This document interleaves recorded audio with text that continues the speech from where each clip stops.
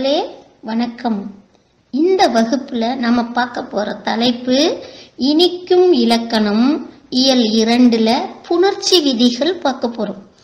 சொற்புணர்ச்சியின் போது நிலைமொழி இறுதியிலும் வருமொழி முதலிலும் ஏற்படும் மாற்றங்களை சுருங்கச் சொல்லும் வரையறைகளை புணர்ச்சி விதிகள் என்பர். மொழியை பிழையின்றி கையாளவும் பாடலடிகளை பொருள் உணர்வுக்கு ஏற்ற வகையில் பிரித்தறியவும் மொழி ஆளுமையை புரிந்து கொள்ளவும் இப்புணர்ச்சி விதிகள் பயன்படுகின்றன. அதுல ஃபர்ஸ்ட் புணர்ச்சி உயிரீற்று புணர்ச்சி உடம்படு மெய் அந்த புணர்ச்சி பார்க்க போறோம். நிலைமொழியின் இறுதி எழுத்தும் வருமொழியின் முதல் எழுத்தும் உயிரெழுத்துகளாய் இருந்தால் உச்சரிப்பின் போது ஒளி உடன்பாடு இல்லாமல் இடைவெளி ஏற்படும். எனவே உடன்படாத அவ்விரு மொழிகளையும் சேர்த்து புணர்க்க வரும் மெய் உடம்படு மெய் ஆகும். பதினெட்டு மெய்களுள் இ யு ஆகிய இரு மெய்கள் மட்டும் உடன்படு மெய்களாக வரும். அதாவது நிலைமொழியின் இறுதி எழுத்து வருமொழியின் முதல் எழுத்து ரெண்டுமே உயிரெழுத்தா இருந்தா. ரெண்டு சேரும் போது ரெண்டு உயிரெழுத்து சேராது இல்லையா அப்ப அவங்க ரெண்டு பேரையும் சேர்க்கறதுக்கு ஒரு மெய்யெழுத்து தான் வரணும். அந்த மெய்யெழுத்தை தான் நம்ம இங்க என்ன சொல்றோம் அப்படின்னா உடம்படு மெய் ரெண்டு உயிரை உடன்படுத்துவதற்கு உடன்படுத்த அப்படின்னா சேர்க்கறதுக்கு அப்படின்னு பொருள். அப்ப சேர்க்கிற ஆள் யாரு அப்படின்னா ஒன்னு பதினெட்டு மெய்யெழுத்துல ஈயும் இவ்வும் மட்டும்தான் உடன்படுமையா வரும். அதத்தான் அந்த பேராகிராஃப் சொல்லுது. நெக்ஸ்ட் அதுக்கு எடுத்துக்காட்டு காட்சி அழகு. இது எப்ப பிரிக்கிறோம்? காட்சி கூட்டல் அழகு. காட்சி நிலைமொழி அழகு வருமொழி இந்த காட்சியை பிரிச்சீங்க அப்படின்னா சிய மட்டும்தான் பிரிக்கணும். சிய பிரிச்சோம்னா இச்சு கூட்டல் ஈ அப்ப அது சி. அப்ப இச்சு குட்டில் ஈ வருது இல்ல அது இகர ஈறு அப்படின்னு ஞாபகம் வச்சுக்கணும். அடுத்து தீ அணைப்பான் தீ குட்டல் அணைப்பான். அந்த தீய பிரிச்சிங்கன்னா இத்து குட்டல் ஈ நெடில் எழுத்து ஈ இல்லையா? அப்ப அது ஈகார ஈறு அப்படின்னு ஞாபகம் வச்சுக்கணும். அடுத்து கலை அறிவு பிரிச்சோம் அப்படின்னா நிலைமொழி வறுமொழியா பிரிக்கிறோம். கலை கூட்டல் அறிவு அப்படி பிரிக்கிறோம். அந்த நிலைமொழியில இருக்கிற கடைசி எழுத்தை பிரிச்சோம்னா இல் பிளஸ் ஐ. அப்ப அது ஐகார ஏறு சரி அடுத்தது மாவிலை மா குட்டல் இலை. அப்ப மா பிரிச்சீங்கன்னா இம் பிளஸ் ஆ. அப்ப ஆகார இரு. அடுத்து பூ வழகு. அப்ப பூ குட்டல் அழகு. அந்த பூவை பிரிச்சீங்கன்னா இப்பு குட்டல் ஊ. அதுதான் பூ. அப்ப ஊகார ஈறு. ஞாபகம் மட்டும் வச்சுட்டே வாங்க. இது எப்படி சேருதுன்னு நான் சொல்றேன். அடுத்தது சே இலை. அப்ப எப்படி பிரிக்கணும்? சே குட்டல் இழை அப்படி பிரிக்கணும். அந்த சேவை பிரிச்சிங்கன்னா இச்சு குட்டல் ஏ. அடுத்த எக்ஸாம்பிள் சேவடி. அதை பிரிச்சிங்கன்னா சே குட்டல் அடின்னு பிரிக்கணும். அந்த சேவை பிரிச்சிங்கன்னா இச்சு குட்டல் ஏ. இப்ப பாருங்க. இ ஐ வழி எவும் நிலைமொழியில இகர ஏரோ ஈகார ஏரோ ஐகார ஏரோ இந்த மூணு வந்துச்சுன்னா அதுக்கு தான் ஃபார்முலா இ இ ஐ வழி எவ்வும் இந்த இ இ ஐ வழி இகர ஏறு ஈகார ஏறு ஐகார ஏறு வந்துச்சுன்னா யகரம் மட்டும்தான். யகரம் புள்ளி. அப்ப இ. இது மட்டும்தான் உடம்படு மெய்யா வரும். அடுத்த பாயிண்ட் ஏனை உயிர் வழி வவ்வும். அப்படின்னா உயிர் எழுத்துல இந்த இ ஐய தவிர மீதி எழுத்துக்கள்ல பிற உயிரெழுத்துக்கள் வந்தது அப்படின்னா எடுத்துக்காட்டுல மாவிலை பூவழகு அப்படி சொன்னான்ல அப்ப ஆகார ஈறு ஊகார ஈரெல்லாம் வந்துச்சுல்ல? அப்ப இ ஐய தவிர மீதி எழுத்துக்கள் வந்துச்சு. ஏய தவிர ஞாபகம் வச்சுக்கோங்க. அப்ப இந்த ஊகார ஈறு ஆகார ஈறு இந்த இடத்துல எது வரணும் அப்படின்னா இவ்வு தான் உடம்படு மெய்யா வரும். இவ்வு. இ ஐ வந்தா யகர உடம்படு வரணும். அடுத்து மீதி உயிரெழுத்துக்கள் வந்தது அப்படின்னா இவ்வு உடம்படு மெய்யா வரணும். அடுத்தது ஏ நெடில் எழுத்து ஏ உயிர் எழுத்துலயே நெடில் எழுத்து ஏ வந்தது அப்படின்னா ஈயும் இவ்வும் ரெண்டுமே உடம்படு மெய்யா வரும். அதத்தான் அந்த ஃபார்முலா சொல்லுது. ஏ முன் இவ் இருமையும் உயிர்வரின் உடம்படு மெய் என்றாகும். அதுதான் அந்த ஃபார்முலா புரிஞ்சிருச்சா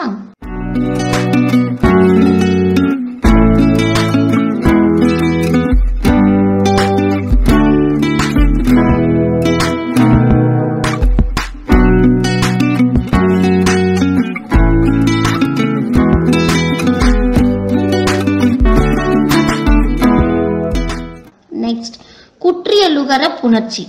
குற்றிய லுகர சொற்களில் நிலைமொழியின் இறுதியில் உள்ள குற்றிய லுகரம் வருமொழியின் முதலில் உள்ள உயிரெழுத்துடன் புணரும்போது தான் ஏறிய மெய்யை நிறுத்தி உகரம் மறையும். பின் நிலைமொழி இறுதியில் உள்ள மெய் வருமொழி முதல் எழுத்தாகிய உயிரெழுத்துடன் புணரும். அதாவது எடுத்துக்காட்டு கொடுத்திருக்கிறோம் மாசற்றார் மாசு கூட்டல் அற்றார். அப்ப பிரிக்கிறோம். மாசு கூட்டல் அற்றார். மாசு அப்படின்ற நிலைமொழியில இருக்கிற சூவை பிரிச்சீங்கன்னா இச்சு கூட்டல் உ. கசட தபர ஊர்ந்து வரக்கூடிய உகரம் தான் குற்றிய லுகரம் அப்படின்னு நீங்க சின்ன கிளாஸ்ல படிச்சிருப்பீங்க. அப்ப கசட தபர ஊர்ந்து வரக்கூடியது எது? குசுடு துபுரு அப்படின்னு ஞாபகம் வச்சுக்கோங்க. அந்த குசுடு துபுருவ கடைசி எழுத்தாக வரக்கூடிய உகர எழுத்துக்கள் தான் இங்கே குற்றியலுகர புணர்ச்சி அப்படின்னு பார்க்குறோம் அப்போ உகரம் வந்துருச்சு அப்படின்னாலே நிலைமொழியோடைய இறுதி எழுத்து உகரமா இருந்தது. எந்த உகரம்? குசுடு துபுரு அப்படின்ற உகர எழுத்து வந்துருச்சுனாலே இது ஒண்ணுதான் ஃபார்முலா உயிர்வரின் உக்குரல் மெய்விட்டு ஓடும் அப்படின்ற விதிப்படி ஊ வந்து மறைஞ்சு போயிடும். தான் ஏறி வந்த மெய்யை விட்டு உகரமானது மறைந்து விடும். அப்போ மாசற்றார் அப்படி இருக்கிறதுல மாசு குட்டல் அற்றார்னு பிரிச்சம் இல்லையா? அந்த மாசுல இருக்கிற இச்சு குட்டல் ஊ அந்த இச்சுல ஊ போயிடுச்சுன்னா அப்ப இச்சு மட்டும் நிக்கும். மா இச் குட்டல் அற்றார் அப்படி நிக்கும். நிலைமொழியோடைய இச்சும் வருமொழியோடைய மொத எழுத்து ஆவு சேர்றணும்னா உடல் மேல் உயிர் வந்து ஒன்றுவது இயல்பே என்ற விதிப்படி மாசற்றார் என புணர்ந்தது. புரிஞ்சிச்சா மாணவர்களே? அப்ப இதுல ஒரே ஒரு விதிதான். என்னது? உயிர்வரின் உக்குரல் மெய்விட்டு ஓடும். உயிர்வரின் அப்படின்னாலே வருமொழியோடைய முதலெழுத்து உயிரெழுத்தா இருக்க நிலைமொழியோடைய ஈற்றெழுத்து குற்றியலுகர எழுத்தா இருந்தா தான் ஏறி வந்த மெய்யை விட்டு நீங்கும் உகரமானது கெட்டுவிடும் அப்படின்றதுதான் இந்த அடுத்ததுல குற்றியலுகரத்துல ஆறு வகைன்னு பார்த்திருக்கிறோம். வன்தொடர் மென்தொடர் இடைத்தொடர் ஆயுதத்தொடர் நெடில் தொடர் உயிர்த்தொடர் எட்டு இரு என்னும் இரு மெய்களோடு ஊர்ந்து வரும் நெடில் தொடர் உயிர்த்தொடர் குற்றியலுகரங்கள் வருமொழியோடு சேரும்போது ஒற்றானது என்னாகும் அப்படின்னா ரெட்டித்து புணரும். ரெட்டித்துனா டபுள் ஆயிரும் அப்படின்றது அர்த்தம். இதத்தான் இந்த ஃபார்முலா சொல்லுது. எது? நெடிலோடு உயிர்த்தொடர் குற்றுகரங்களுள் ட ரா ஒற்று இரட்டும் டபுள் ஆயிடும்னு அர்த்தம். வேற்றுமை மிகவே. அந்த ஃபார்முலா எடுத்துக்காட்டு வீடு கூட்டல் தோட்டம். வீட்டு தோட்டம். காடு கூட்டல் மரம். காட்டு மரம். முரடு கூட்டல் காளை. முரட்டு காளை. புரிஞ்சுச்சா? ஆறு கூட்டல் நீர். அற்று நீர். பகடு கூட்டல் வாழ்க்கை. பகட்டு வாழ்க்கை. சோறு கூட்டல் பானை சோற்று பானை. இந்த மாதிரி எங்க அப்படின்னா டா ரா என்ற இரு மெய்களோடு ஊர்ந்து வரக்கூடிய நெடிர்தொடர் உயிர்த்தொடர் குற்றிய லுகரங்கள் வருமொழியோடு சேரும்போது ஒற்றானது ரெட்டித்து புணரும். நெக்ஸ்ட் முற்றிய லுகர புணர்ச்சி. கசட தபர ஊர்ந்து வரக்கூடிய உகரம் தான் குற்றியல் உகரம் கசட தபர தவிர மீதி பன்னெண்டு மெய்யெழுத்துக்கள் இருக்கு இல்லையா? அதோடு ஊர்ந்து வரக்கூடிய உகரத்தை தான் இங்க முற்றியல் உகரம் அப்படின்னு சொல்றோம். அப்ப நிலைமொழியின் இறுதியில் உள்ள முற்றியல் உகரம் குற்றியல் உகரத்தை போலவே தான் ஏறிய மெய்யை நிறுத்தி உகரம் மறையும்.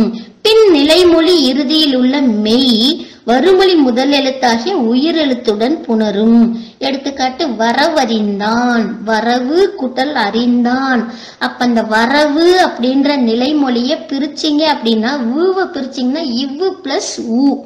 அப்ப அந்த இடத்துக்கு முற்றற்று ஒரோ ஒலி முற்றிய லுகரமாய் இருந்தா குற்றிய லுகரத்தை போலவே தான் ஏறி வந்த உகரம் மெய்யை விட்டு நீங்கும் அப்படின்றதுனால முற்று அற்று ஒரோ வழி அப்படின்ற விதிப்படி உகரம் மறைந்தது. அடுத்து வரவு. அப்ப உகரம் போயிடுச்சுன்னா என்ன இருக்கும் வர இவ்வு குட்டல் அறிந்தான் அப்படி இருக்கும். அது எப்பயும் போலயே உடல் மேல் உயிர் வந்து ஒன்றுவது இயல்பே என்ற விதிப்படி இவ்வு பிளஸா வா வரவறிந்தான் என புணர்ந்தது. சரியா? அடுத்தது இயல்பீறு விதியீறு அப்படின்ற புணர்ச்சி. அதாவது இயல்பீராகவோ விதி ஈராகவோ அப்படின்னா இயல்பாகவோ இல்ல வேற்றுமை புணர்ச்சி காரணமாகவோ நிலைமொழியின் இறுதியில் நிற்கும் உயிரெழுத்துடன் காசா தாப்பா என்னும் வல்லின மெய்களை முதலில் கொண்ட வருமொழி சொல் சேரும்போது அவற்றிடையே வல்லொற்று மிகுந்து புணரும். அதைத்தான் இங்கே சொல்றோம். இப்ப பாருங்க இயல்பீறு அப்படின்றது. இயல்பீறு என்பது இயல்பாக நிற்கும் சொல்லின் வடிவம். எடுத்துக்காட்டு பள்ளி கூட்டல் தோழன். அப்பனா பள்ளி தோழன். விதியீறு அப்படின்னா விதியீறு என்பது புணர்ந்த பின் நிற்கும் சொல்லினுடைய வடிவம். அதாவது நிலம் கூட்டல் தலைவர் அப்படின்னு ஒரு வார்த்தை இருக்கு. நில நிலம் கூட்டல் தலைவர். அடுத்து நில தலைவர். விதியீரா மகர ஈறு போயிடும். மகர ஒற்று போனதுக்கு அப்புறம் நிலக்குட்டல் தலைவர்னு இருக்கும். அப்ப இந்த தலைவர்ன்ற வருமொழியோட சேரும்போது நிலம் அப்படின்றதுல இம்மு கெட்டு என்ன ஆயிடுது? இத்தானது புணரும். அதைத்தான் விதியீறு அப்படின்னு சொல்லி சொல்றோம். இப்போ அடுத்த எடுத்துக்காட்டு திரைப்படம். திரைக்கூட்டல் படம்னு பிரிக்கிறோம். இங்க இந்த விதியைத்தான் நீங்க ஞாபகம் வைக்கணும். அதைத்தான் இங்க இயல்பீறு விதியீறுன்னு சொன்னது அதுதான். இயல்பினும் விதியினும் நின்ற உயிர் முன். நிலைமொழியில என்ன இருக்கு அப்படின்னா உயிர் எழுத்தா இருந்தா வருமொழியில மொத எழுத்து காசா தாப்பாவா இருந்தா அதோடைய ஒற்றானது புணரும். அதத்தான் அங்க சொல்றாங்க. இயல்பினும் விதியினும் நின்ற உயிர் முன். உயிர் முன் அப்படின்னா உயிரெழுத்துக்கு முன்னாடி. காசா தாப்பா மிகும் விதவாதன மண்ணே. புணர்ச்சியுடைய இலக்கணமே அதுதான். திரைக்குட்டல் படம். திரைப்படம். இயல்பினும் விதியினும் நின்ற உயிர் முன். காசா பா மிகும் என்ற விதிப்படி திரை படம் திரைப்படம் என புணர்ந்தது. அடுத்தது மரக்கலம் அப்படின்னு ஒரு வார்த்தை. அதை பிரிச்சிங்கன்னா மரம் குட்டல் கலம்னு பிரிப்போம். அந்த மரம்ல இருக்கிற இம்மானது மவ்வீறு ஒற்றழிந்து உயிரீறு ஒப்பவும் என்ற விதியின்படி இம்மானது போயிடுச்சு இல்லையே நீங்கள் நீங்க படிச்சிருப்பீங்க. இம்மு போயிடுது. அப்போ என்ன இருக்கும்? மீதி நிலைமொழியில மர குட்டல் களம்னு இருக்கும். இந்த இடத்துல இயல்பினும் விதியினும் நின்ற உயிர்முன் இப்ப நிலைமொழியோடைய ஈற்றெழுத்து பாக்குறீங்க ரா இருக்கு. ராவை பிரிச்சிங்கன்னா இர் பிளஸ் ஆ. இல்லையா? அப்ப அந்த உயிரெழுத்துக்கு முன்னாடி வருமொழி மொத எழுத்து என்ன இருக்கு அப்படின்னா கா இருக்கு. அப்ப அதோடைய ஒற்று மிகும்னு அர்த்தம். அப்ப மர கூட்டல் களம் காதான இருக்கு. அப்ப காக்கு அதோடைய ஒற்றெழுத்து இக்கு.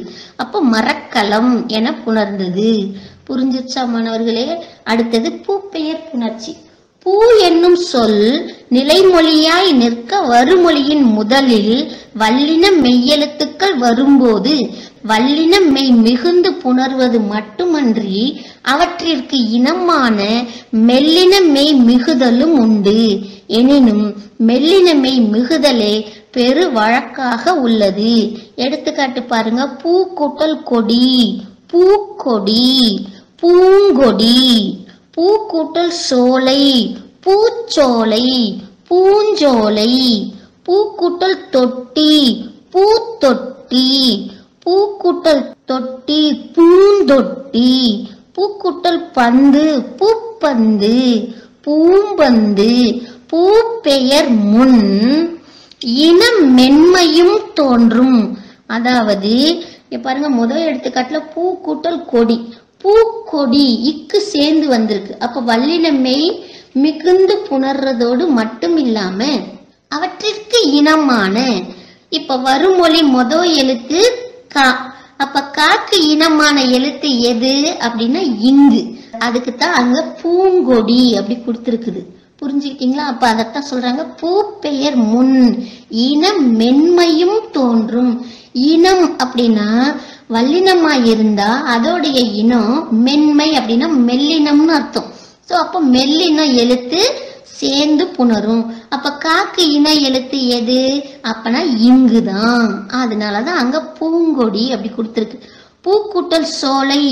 அப்போ பூ பக்கத்துல வருமொழி முத எழுத்து சோலை சாதாரண. ச்சு சேர்ந்து பூச்சோலைன்னு இருக்கு. அதையே திருப்பி பக்கத்துல பாத்தீங்கன்னா பூக்குட்டல் சோலை பூஞ்சோலை. சாக்கு இனமான எழுத்து. சான என்ன? வல்லினம் தானே? வல்லினத்துக்கு இனமான எழுத்து எது அப்படின்னா இஞ்சு. அதாவது கா க ச ஞா. அதை வச்சு தான் இங்கே சொல்லியிருக்காங்க. பூ பெயர் முன் இன மென்மையும் தோன்றும் என்ற விதிப்படி பூக்கூட்டல் தொட்டி பூத்தொட்டின்னு வல்லினம் மிகுந்தும் புணருது. பூக்குட்டல் தொட்டி பூந்தொட்டி தாக்கு இனமான இந்து சேர்ந்து புணர்வதையும் இங்கே பார்க்கலாம். அடுத்தது மெய்யீற்று புணர்ச்சி. நிலைமொழி ஈற்றின் இறுதி எழுத்து மெய்யெழுத்தாக நிற்க வருமொழியின் முதலாக வரும் உயிரெழுத்துடனும் மெய்யெழுத்துடனும் சேரும் புணர்ச்சியை மெய்யீற்று புணர்ச்சி என்பர். அதாவது வாயொலி இப்படின்னு ஒரு வார்த்தை இருக்கு. எப்படி பிரிக்கணும்? வாய் குட்டல் ஒலின்னு பிரிப்போம். நிலைமொழியோடைய ஈற்றெழுத்து ஈ இல்லையா? வருமொழியோடைய மொத எழுத்து ஓ. அப்ப ஈ குட்டல் ஓ யோ. அப்ப உடல் மேல். உடல் அப்படின்றது நிலைமொழிய குறிக்கும். உயிர் அப்படின்றது வருமொழியோடைய மொத எழுத்து உயிர் எழுத்து. ஸோ இது ரெண்டு சேரும்போது உடல் மேல் உயிர் வந்து ஒன்றுவது இயல்பே அப்படின்ற விதிப்படி இ கூட்டல் ஓ யோ என சேர்ந்து வாயொலி அப்படின்னு சேர்ந்திருக்கு. அடுத்தது மண் கூட்டல் மகள் மண்மகள் என்பதில் நிலைமொழி இறுதியும் வருமொழி முதலும் மெய்யெழுத்தாக நிற்க இயல்பாகவே புணர்ந்திருக்குது. இது ரெண்டுமே மெய்யெழுத்து தான். ஸோ அப்படி இருக்கிறதுனால அது இயல்பாகவே சேர்ந்துச்சு அப்படின்றாங்க. அடுத்தது தனிக்குறில் முன் ஒற்று அந்த புனர் நிலைமொழி தனிக்குறில் சார்ந்த மெய்யெழுத்தாக நின்று தனிக்குறில் அப்படின்னா இப்ப எடுத்துக்காட்டுல கல் குட்டல் அதர்னு கொடுத்துருக்கு. அப்ப கல் இல் இருக்குல்ல அதுதான் தனிக்குறில் காக்கு பக்கத்துல ஒரு இல் மட்டும் வந்திருந்தா அது தனிக்குறில் புரிஞ்சுக்கிட்டீங்களா? தனிக்குறில் பக்கத்துல இருக்கிற மெய்யெழுத்தாக நின்று வறுமொழியின் முதல் உயிரெழுத்தாக இருப்பின் வறுமொழியோடைய முத எழுத்து உயிர் அதர் ஆ இல்லைங்களா? இருப்பின் நிலைமொழியோடைய ஒற்று ரெட்டிக்கும். இப்ப கல் குட்டல் அதர். அப்ப க இல் plus will equal to other equal to கல்லதர். அப்போ இங்க எடுத்துக்காட்டுல எப்படி சேர்ந்து கல் கூட்டல் இல் பிளஸ் அதர் அப்ப தனிக்குறில் முன் ஒற்று உயிரெழுத்தா இருந்தா உயிர் வரின் இரட்டும் அப்படின்னா ரெண்டாயிடும்னு அர்த்தம். கா இல் இல் குட்டல் அதர் அப்புறம் அதுக்கு அடுத்து ரெண்டு சேர்றது உடல் மேல் உயிர் வந்து ஒன்றுவது இயல்பே அப்படின்ற விதிப்படி கா இல் இல் பிளஸ் ஆ லா. அப்ப கல்லதர் அப்படின்னு சேருது.